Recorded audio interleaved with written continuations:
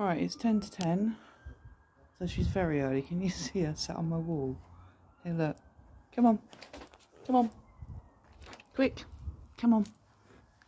Come on then. Here. Biscuit. Come on, it's still light.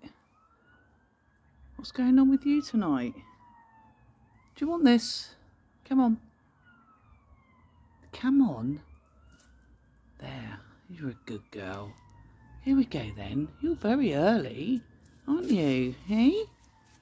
Very early this evening. Like I say, look, it's still light. Here we go then, my babes.